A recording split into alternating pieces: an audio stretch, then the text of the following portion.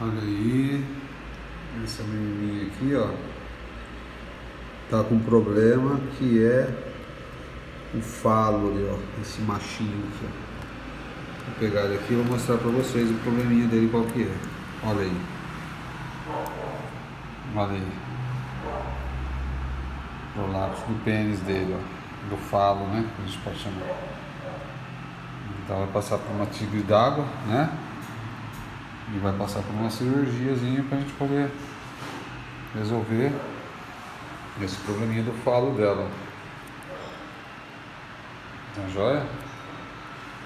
Animais silvestres, traz aí pra gente cuidar dos animais, sabe coisa linda.